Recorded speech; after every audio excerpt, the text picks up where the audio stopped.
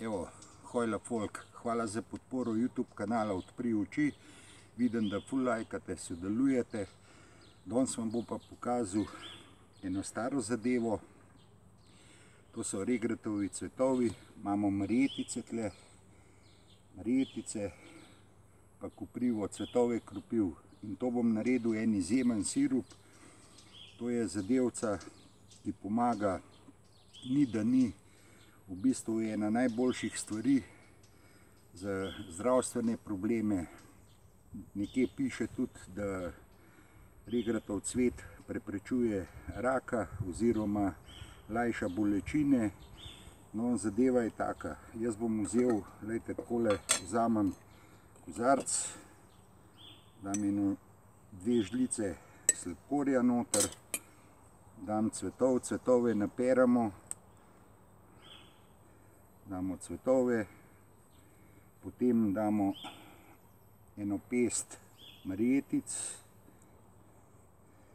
potem eno pest cvetov slovenske domače koprive, ne kitajske.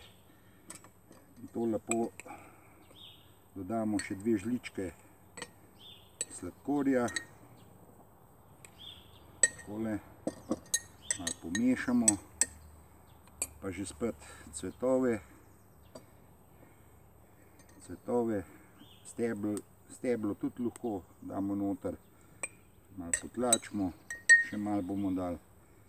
Potem smo rekli marjetice, v marjeticah si preberite, to je izredno zdravilna rastlina, cvetovi slovenske avtohtone koprive, spet malo potlačimo, takole damo dve žličke sladkorja noter, to je to, potem damo kakšno rezinco limonce lahko noter, evo, limonca,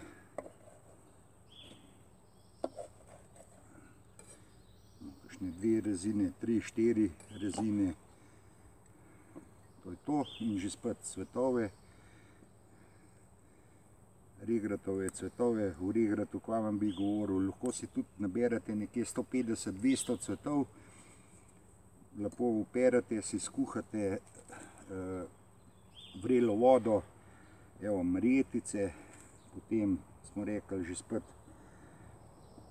koprivo, takole malo potlačimo, damo dve žličke sladkorja noter in ponovimo postopek, že spet cvetove, malo sem štorast, ampak bom dele z nečem poplaknil, da se mi ne bojo roke toliko tresle, evo, že spet marjetice, smo rekli koprivo, ene dve, tri rezince limonce noter,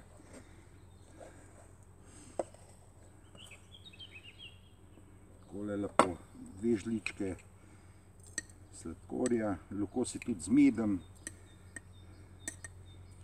sladkate, lahko je tudi brez sladkorja in to je to. Pa že spet šopek marjetic, tam nekje 10, pa smo rekli pa koprivo, pa že spet malo sladkorja, pa ostalo, ostali krhelj razrežemo limonco, takole lepo naštimamo in to damo noter, bom vzel še eno zadevo, da vam pokažem.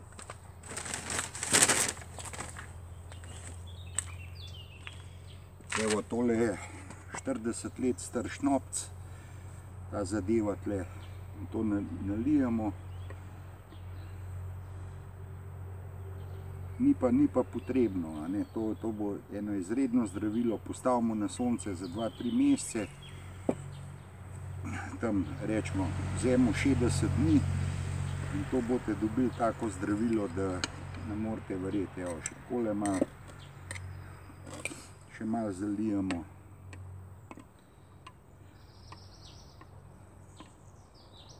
Evo, to je to, preberite si, to je najbolj zdrav antibiotik. To je, ni da ni skoraj za vse ljubezni in jaz vam želim na zdravje. Malo se moram pa tudi jaz razkužiti. Mm. Uf, je močen. Uh, uh.